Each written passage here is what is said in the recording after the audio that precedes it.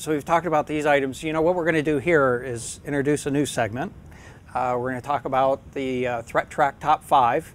And, you know, in these scenarios, we're talking about some things where ultimately your information might be stolen. And so the question is, okay, you suspect your identity has been stolen, and what are you going to do at this point? So, uh, you know, I guess what we'll do is talk about a few things. I'll take the first one here and just basically say, you know, you want to first find out what data has been stolen, and perhaps, you know, if you can, you'd like to know who has it, because uh, who has it might have some implications on how they might use it. You know, there's a there's a lot of press out there now about the OPM compromise, and so the question is, you know, this information is stolen. What what might they do with it? Well, in that particular case, at least the suspicion is what they're talking about is that they're probably not going to, you know, try to open credit cards in your uh, under your name. Uh, it probably has more to do with some strategy to be able to, uh, you know, do some sort of cyber attack against the government or something along those lines. But in any case, understanding what the data is that's been stolen, what they might be able to do with it, and what the motivations might be would be uh, perhaps a helpful factor. So I don't know. What's uh, what do you two, think, John? Number two yeah. on the list. Number Um, two. So yeah, I guess the, the number two item that we always talk about is you should probably change, as long as you know to the extent of what identities have been stolen from you, you should change your password at least on that environment or those environments. But I would recommend changing passwords on most of your systems if you can, because you, especially if you reuse the login ID, like the mm-hmm. same user ID, we always say never use the same password on any two systems or three, whatever. Always use a unique password on each mm-hmm. system. Um, and I know a lot of people probably don't follow that rule, but there are things like Password Safe and some of these other password safe programs that will help you create unique passwords for each site. I got a Um, feeling we're going to talk about something like that later. Oh, that's true. Yeah, we might. Well, that's a whole other issue. But in any event, uh, you know, uh, definitely, you know, Yeah. change your passwords on these systems Yeah, uh, to, to prevent any chance of somebody using that information to get Yeah. into your system. Yeah, they, you know, uh, Shane, so in a case where identity information has been stolen, it's a good possibility that other aspects of the information have been stolen, and uh, you know, sometimes they are they're able to get the password hashes and perhaps use that to be able to get access to other systems. So you certainly want to be able to to uh, protect against that. And you know, you know, considering the type of identity information that might have been stolen, they might be able to guess some of your security questions. Yes. So that's one For thing to also systems. keep in mind. Yeah, so I mean, if that's stolen in there and there's some security questions, and there's another site somewhere else that you use that has the same security questions or has some overlap, that could be Mm-hmm. A problem. They may be able to reset your password on you without, you know, just by answering security questions. you know, it, I, um, it, the there's there's sort of a philosophy that says you should actually generate lies for the security questions and use those. I mean, they're effectively sort of pieces and parts of your password.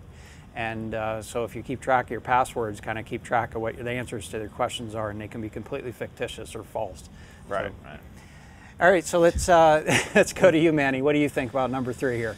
So yeah, so number three, uh, being alert uh, for spear phishing. So spear phishing obviously is a huge. We know that's uh, one of the, I think one of the major uh, initial vectors for uh, for getting, um, you know, getting compromised credentials and stuff. So you know what you have to be suspicious. You know you, what you have to work uh, watch out for is is for these suspicious looking emails, right? And I think um, we've done quite a bit in terms of you know training, employee training, learning to figure out what you know what's right, what I should click, what I shouldn't click, looking at uh, uh, links and making sure that you know understand where they're going to.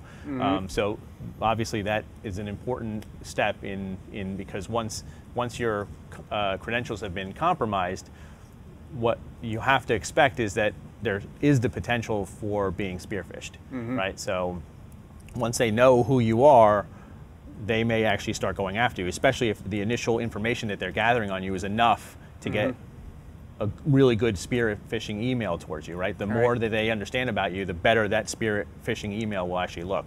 Yeah. What I would say is, wherever the data breach occurred, be it you know a, a retail store or a government agency, they may try and send you messages, legitimate messages from that organization, but the spearphishers may also try and pretend to be that organization. Right, I mean, we've yeah. seen that with the Target and Home Depot breaches, where as soon as the breach was in the news, the phishers were using that, saying, "Oh, we, we know we know that you got compromised. Please click on this site and sign up for protection."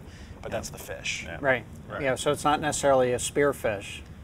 Right. It could be a, a, a phish in general. You know, the, the, Yeah. the, and I think sometimes these, these are perhaps mixed up, but the, you know, the distinction between your typical fish, fishing activity, you know, this is obviously an analogy to, you know, fishing with a rod.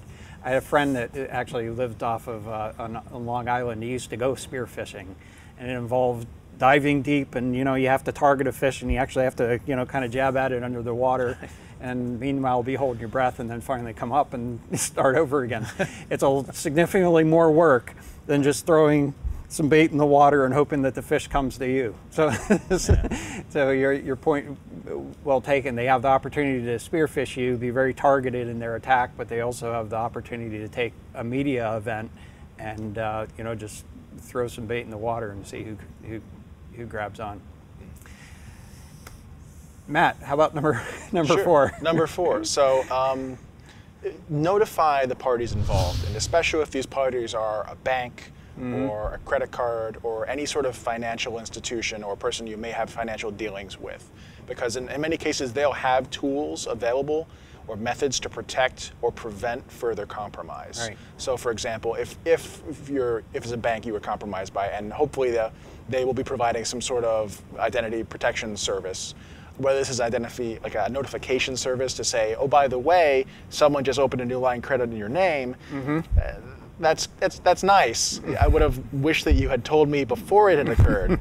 that's a possibility. Yeah. Um, in some cases, you can also set up a credit freeze, which is Right. something I think uh, Brian Krebs mentioned in a recent blog post, where you can actually say, "Don't allow any changes for the next uh, three months, um, and let me know if anybody tries to do anything." Mm-hmm. Yeah, So- unless you're planning on replacing your car. Well, that's that's the thing. If you if you You have to- buying a new home, if you intend to, yeah. to need to take out a line of credit somewhere, this does get in your way. You can turn it back off.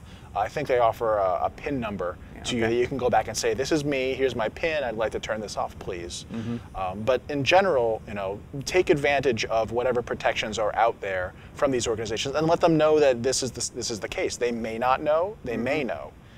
Well, and in fact, it may be uh, helpful to them to know that you, as an individual, perhaps because you may have gotten a notification through another third party, that they may not have known that that credit card number, for example, had been stolen. By letting them know, uh, it gives them an opportunity to be looking for the potential fraud because that may translate to other victims. So you may be not just protecting yourself, but helping the organization protect others. So uh, that can be pretty valuable. You know, the uh, the banks have gotten a lot more proactive about looking for fraud activities, or even looking for evidence of stolen credit cards, and they've been using that to help translate that or, or correlate that back to organizations that have been, you know, basically the victims of the theft, retail organizations, for example. And Brian Krebs, I think, has reported a number of those. You mentioned them, and so uh, having that information will help them to be able to trace it back, possibly as well. So, all right. So, Manny, what do you think is number five here? So number five, uh, subscribe to a identity theft protection service. So I personally have some stro- strong thoughts about it, um, but it, it's uh, it's obviously a good uh, a good thing to do once you've known that that you, p- potentially there's been a, a compromise. Now. In many cases, depending on the size of the of the, the compromise, this may actually be offered to you as sort of consolation um, of sort of sorry after the fact kind of thing. Um, but but if it if it isn't, then obviously subscribing or signing up to uh, to one of these services is is a good idea. You, know, at least you have somebody there that's paying attention to the, the credit side of your you know of your identity to make sure that you get alerted when something sort of suspicious happens. Right. So. So, as you can see, there's sort of a theme here. You know, they're changed some things, and then the other aspect is really just kind of have some good understanding of what's going on around you and try to get some help along the way. So, uh, perhaps keeping track of a lot of them for of uh, activities that are taking place, uh, watching for transactions that are taking place. I think is uh, sort of the common theme here. Right. I was just going to interject. These identity theft protection services, while you know they're not 100% guaranteed they're going to pick up, um, and when they do, sometimes it's inconvenient for you. It's a lot more. It's a lot better to be inconvenienced every now and then than to get you know have somebody open a credit card and then use it for ten thousand dollars or something, and then you have to go through the whole process of you know trying to repair your credit and uh, trying not to have to pay that bill and whatnot. Yeah. So. Yeah.